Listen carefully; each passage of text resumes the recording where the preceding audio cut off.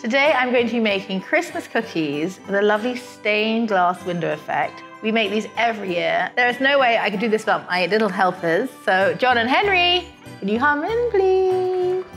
Hello.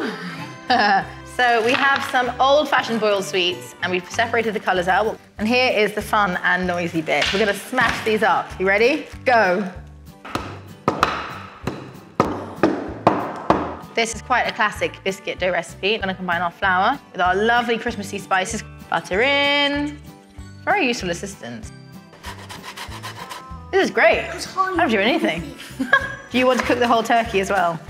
We're going to add a little bit of milk just so the consistency turns into a nice smooth dough. I've often made these as gifts for friends. It's so hard to think of something original. I'd say we want it so about half a centimetre thick, do you think, John?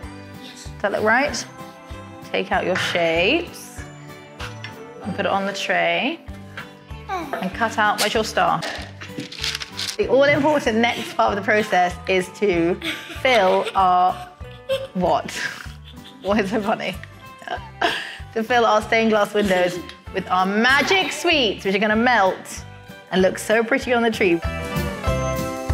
We're gonna bake them in the oven for about 12 minutes until the royal sweets have melted and the cookies are nice and crispy.